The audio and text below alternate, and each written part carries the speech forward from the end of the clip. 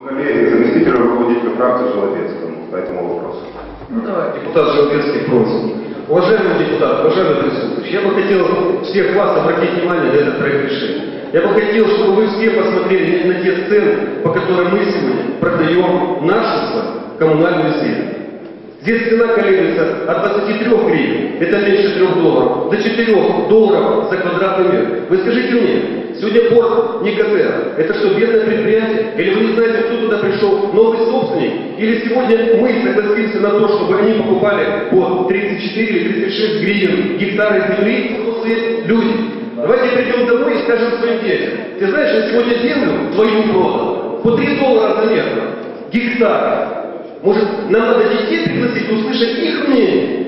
По одной простой причине, что мы с вами не получили землю в наследство от наших предков. Мы одолжили ее у наших детей. Я прошу вас задуматься над этим. Потому что сегодня, принимая это решение одним махом, вы лишаете в дальнейшем их права на владение этой землей. Сегодня мы продаем землю по 30 с чем-то гривен Херсонское шоссе и проспект Мира. Скажите мне, пожалуйста, это лучшее место в городе. Имеем мы с вами моральное право продавать по такой низкой цене? Да, наверное, связи с нашим бюджетом, может быть, нужно продавать, но продавать это в крайнем случае и по той цене минимум в 10 раз дороже, чем здесь предложенные цифры. Поэтому я предлагаю не голосовать за это решение, рекомендовать всем заявителям поднять цену минимум в 5-7 раз, пересмотреть земельные комиссии, которая иногда в срочном порядке собирается, чтобы продать землю за 23 гривны. Задумайтесь, пожалуйста, над этим. И, и я прошу вас, может это поименно, я же понимаю, что не пройдет, но, по крайней мере, после голосования пусть лидер каждой фракции микрофон скажет, сколько каждая фракция дала голосов за этот проект решения. Для того, чтобы наши дети потом когда-нибудь узнали, кто и как голосовал. Спасибо. Э, гарантии Никотеры следующие. Э, Мы готовы заплатить 39 или 38 гривен в течение недели оплатить этот счет. Поэтому не нужно говорить, что земельная комиссия плохая. Сегодня мы все сделали, чтобы 600 дополнительно тысяч гривен попало в казну нашего общины. В прошлой каденции земли Николаевского морского торгового порта, там были участки, которые выкупались по-моему, итальянцами, другими иностранными компаниями, оценивались и продавались в размере 140 гривен. И было это 3 года или 4 года назад. Сегодня мы равноценные земли порта, да, портовые э, Никотера, к общему сведению, за прошлый год составил порядка 360 миллионов гривен. Да? Мы продаем по 37 гривен, при этом, э, в общем-то, пытаемся вызвать симпатию у жителей, что на на 600 тысяч больше получит город. На 600 тысяч при размере тех участков, которые продаются, это просто пшик. Можно получить несколько дополнительных миллионов. Ставлю, будь ласка, Железний, на голосування. Я говорю, вот там же не только порт Никотес. В этом проекте решения есть земельный участок, я так понимаю, это, насколько я понимаю, это было как решение, правильно или нет? Херсонское шоссе и Мира, или где? Не Мира, проспект Октябрьский. Это сегодня выкупает землю великое решение, скажите мне, вот тут председатель земельной комиссии, да или нет, или кто может сказать?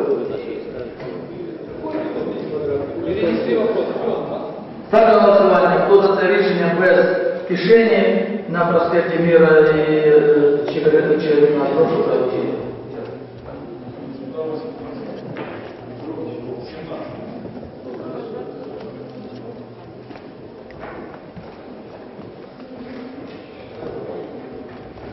Что организовано?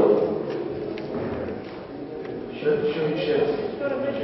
Справа 17, слева 0, э, середина 22, и в принципе у два Всего 40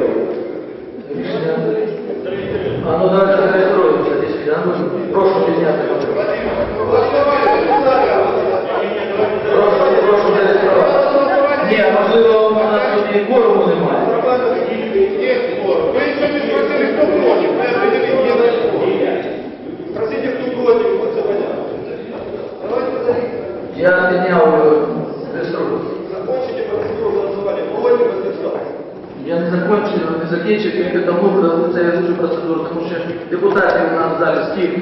Хто записав? Секретаріат не знаю. Хвилиночку. Давайте. Будь ласка, скільки депутатів у нас? Андрій. Я не было, когда 5 человек против мы. 41 плюс 5, уже 46. Так, не голосуємо, Хто за рішення без рішення, прошу голосувати.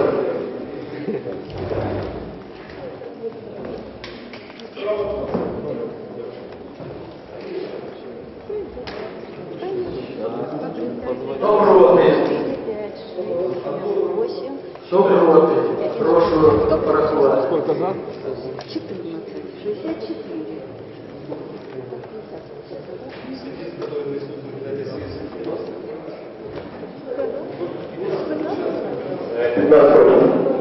Утримався.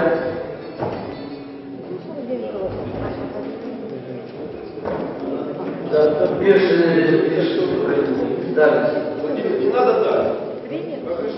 Будь ласка. При том цинизме, который присутствует в этом зале, ну, я, не вижу, я, например, лично не вижу смысла находиться здесь.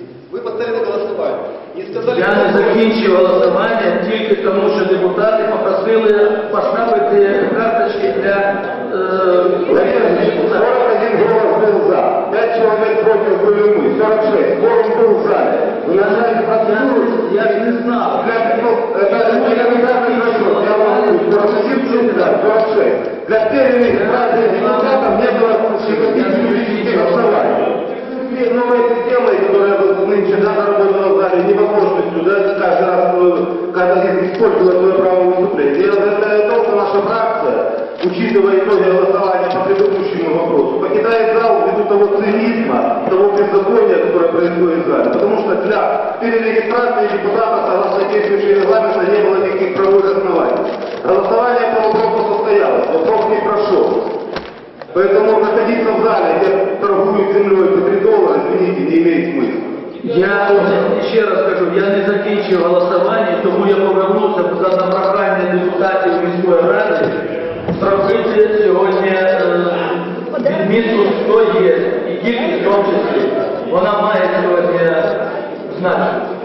Ну, Олег Іванович, це е, не, е, неправильний крок, і він не відповідає сьогодні вашим принципам. І хто вам там підбурив, я перепрошую. І ще раз кажу, крок ваш невірний. Так, Анатолій Леонидович. Коммунисты наши коллеги. все условия для этого. Попрошу никуда не уходить. Это первое. Второе, что касаемо того, что э, говорили члены земельной комиссии, я полностью поддерживаю. Получается такая ситуация, что когда мы выносим решение или убираем решение каких-то земельных вопросов, мы боремся за то, чтобы поднять цену, чтобы эти деньги пошли в казну города, нам говорят, что мы специально не проводим вопросы, не даем деньги в бюджет. Когда же мы это сделали и голосуем, опять говорят, я считаю, что это саботирование просто всех тех инструментов, которые позволяют нам наполнить бюджет, чтобы у нас не было возможности работать на благо города. Поэтому это отношение, вот это сессия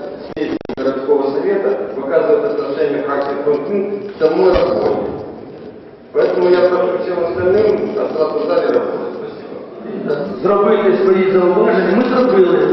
Вони підвищили чи не підвищили. Ми повинні голосуванням своє визнати право. Я дякую. Олександр Іванович, далі.